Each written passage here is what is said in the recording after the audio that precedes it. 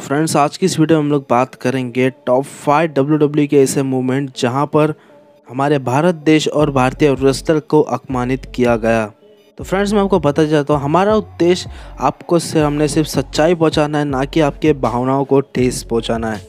हम लोग सिर्फ़ आपके सामने सच्चाई दिखा रहे हैं, ना कि आपके भावना को ठेस पहुँचा रहे हैं। वैसे तो हम जानते हैं डब्ल्यू स्क्रिप्टेड होता है।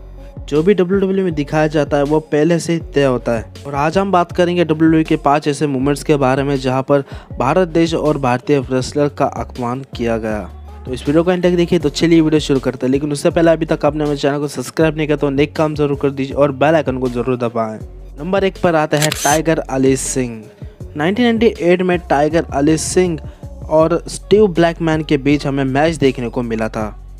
जहाँ पर स्टीव ब्लैकमैन हार्डकोर चैंपियन थे और उन्होंने अपना टाइटल डिफेंड किया था इस मैच के अंदर। और इस मैच के अंदर ये होता है, टाइगर अली सिंह बिना पगड़ी उतारे मैच में लड़ने चले जाते हैं और वो अपनी पगड़ी भी नहीं उतारते और वो वैसे ही मैच लड़ते हैं। पर एक समय ऐसा भी आता है, Steve Blackman Tiger Ali Singh की पगड़ी उतार कर फेंक देते हैं। और आपको पता है, पगड़ी हमारे भारतीय संस्कृति में काफ़ी बड़ी मानी जाती है, क्योंकि सिख धर्मों में भी काफ़ी बड़ी मानी जाती है। भारतीय संस्कृति में पगड़ी को काफ़ी बड़ा माना जाता है। टाइगर अली सिंह ने वो पगड़ी नहीं उतार के काफ़ी अपमानित किया था, पर इस मैच को टाइगर अली सिंह ने सिर्फ़ तीन मिनट के अंदर हारा और और स्टीव ब्लैकमैन ने मैच को जीत लिया, और मैच जीतने के बाद वो पगड़ी उन्होंने पहन ली स्टीव ब्लैकमैन ने, और एक काफ़ी बड़ा अपमान किया था टाइगर अली सिंह ने, भारतीय पगड़ी का। नंबर दो ग्रेट खली हम मानता है कि ग्रेट खली कितने बड़े सुपरस्टार है। इन्होंने हमारे भारत का नाम काफ़ी ऊँचा किया पर चीज़ें तो तब बदली जब खली पंजाबी नाइट मेयर से पंजाबी प्ले बॉय बने। खली पंजाबी नाइट मेयर से पंजाबी प्ले बॉय बने तो ये काफ़ी ज़्यादा शर्मनाक था, क्योंकि एक डोमिनेटिंग सुपरस्टार एक पंजाबी नाइट मेयर से पंजाबी प्ले बॉय बना। पर उसके बाद हमें मंडे नाइट के एक सेगमेंट के दौरान जब भी विक्की गोरो का मैच होता है एजे ली के साथ, वो बैक स्टेज विक्की गोरो वार्म अप कर रही होती है और तभी ग्रेट खली एंड हॉर्स वोगन वहाँ पर चले जाते हैं। वहाँ पर Khali and horse wagon Vicky गोरो की मदद करते हैं। और उसी के बीच हमें विंस मैकमैन आते हुए नज़र आते हैं और विंस मैकमैन वो देखकर एकदम अपनी गर्दन नीचे करके वहाँ से चले जाते हैं। और ये काफ़ी ज़्यादा ऑकवर्ड और काफ़ी अजीब सा सेगमेंट था। इतने बड़े सुपरस्टार को अभी इस तरह के से सेगमेंट देना तो मुझे काफ़ी ज़्यादा ठीक नहीं लगा, क्योंकि एक बड़ा डोमिनेटिंग सुपरस्टार अभी एक ऐसे सेगमेंट में ये मुझे काफ़ी ज़्यादा बुरा लगा था। हालाँकि ये स्क्रिप्टेड था, लेकिन ये मुझे देखकर अच्छा नहीं लगा था। इसमें आपके क्या नीचे कमेंट करके ज़रूर बताएँ। नंबर तीन।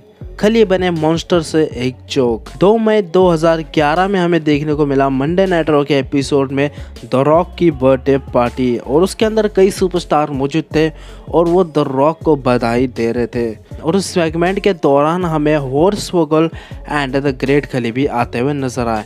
पहले तो हॉर्स वोगन आए, उसके बाद ग्रेट खली आए, लेकिन एक परी वाले कॉस्ट्यूम में। और ये काफ़ी ज़्यादा शौक था। क्योंकि कहा एक मॉन्स्टर सुपरस्टार एक बना परी। हालाँकि ये स्क्रिप्टेड था, लेकिन यहाँ पर काफ़ी सुपरस्टार ग्रेट खली का मज़ाक उड़ा रहे थे।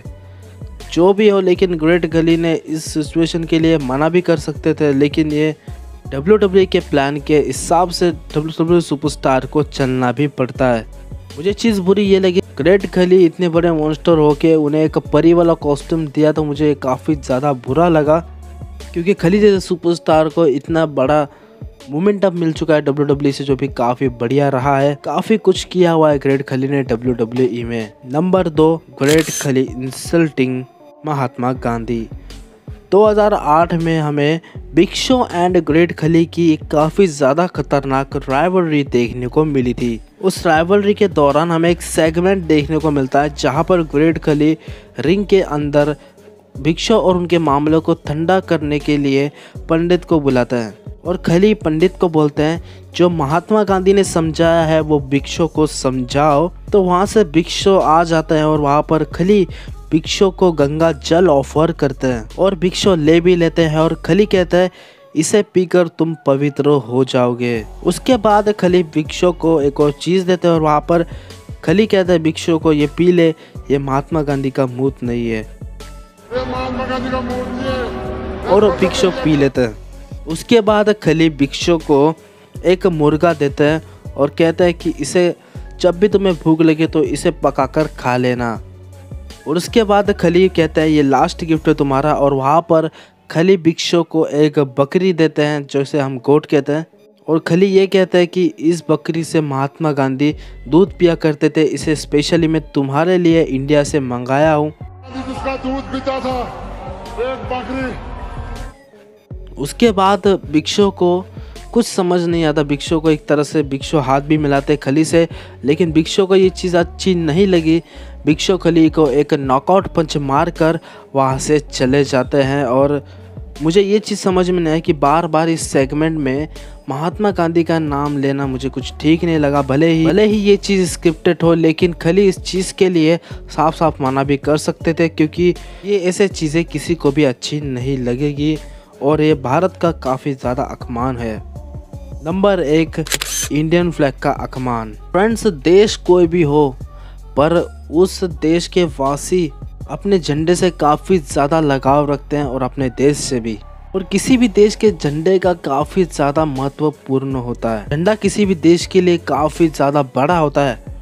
और हम सब इंडियंस के लिए हमारा तिरंगा काफ़ी ज़्यादा बड़ा है।